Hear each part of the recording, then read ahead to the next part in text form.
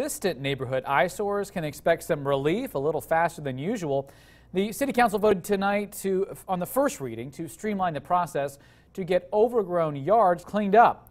While currently the city must a, send out a warning each time a property becomes unkempt, the proposed ordinance would make the warning good for the entire summer.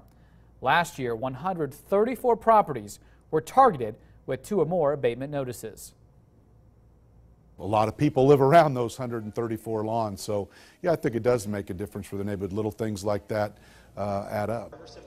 The city also voted on first reading to issue up to $1.5 million of bonds to help pay for the renovations of the Matchbox co-working studio on 6th Street downtown.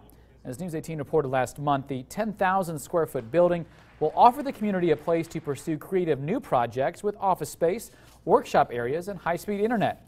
Both the bond issue and the yard ordinance uh, will need uh, require a second vote by council next month.